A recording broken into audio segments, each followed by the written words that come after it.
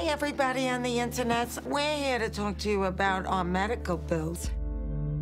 We run the risk of losing our house unless you, our online family, help us out.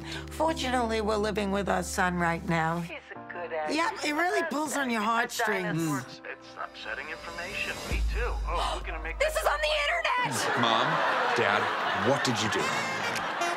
I did not notice breasts when we started filming, but uh, clearly there are breasts there. Look, Yeah. this one, this two. Dad, stop zooming in on my wife's breasts! P- pinch them to make them smaller. Rory, don't do that! Ew, God!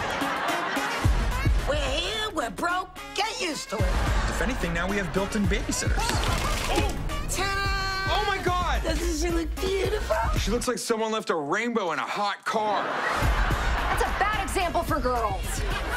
Do you want a glass? No, because they're all over the house, covered in your mom's lipstick. Wipe left. It's swipe, Mom. This is so much fun. I love judging people. I never embarrass you. You always find a way to bring up my feet. You're gorgeous from the ankles up. You didn't hear it from me. I was in the gifted program. I told them you were four when you were really six. you were the smartest four-year-old.